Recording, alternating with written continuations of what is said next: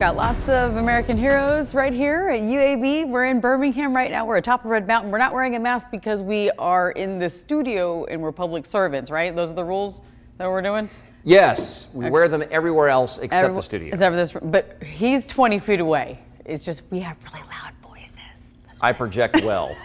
He's not even And the mic- microphone helps. He's not even mic'd up, no. 53 degrees is your temperature this morning. We're so glad you're waking up with us this morning. It'll be in the mid 50s, so light jacket weather. But if you're going to be heading out for the entire day and you maybe uh, sitting in your car trying to run errands, doing some of those uh, pickups, it'll be certainly a nice day to have the sunroof open or, or cracking those windows. You're going to need to certainly have the fans cut on to circulate that air inside the house because the air conditioning is going to start cranking up and uh, a lot of those hardworking air conditioning and heating and air folks right? Thank you to them and a lot of the contactless delivery so really appreciate uh, those hard workers.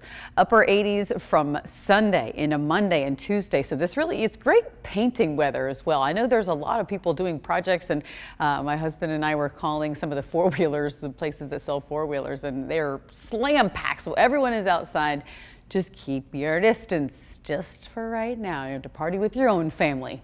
That's how I do it. That's how we do it.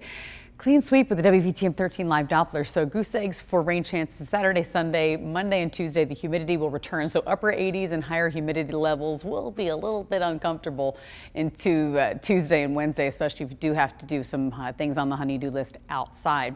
Low 80s between 2 and 5. That's really going to be your window today. So it's not going to be quite as hot today as it will be tomorrow afternoon. That's when it's going to get a little bit more uh, uncomfortable in the afternoon. And it's always a good idea actually to have a nice around you when it starts to get really hot because you want your body to be able to cool itself naturally.